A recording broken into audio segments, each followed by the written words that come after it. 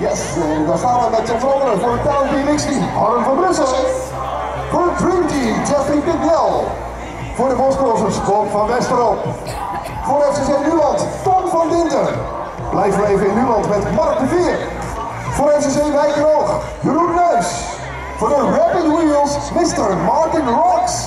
En last but not least de Heidenclub Johan Visser. Succes!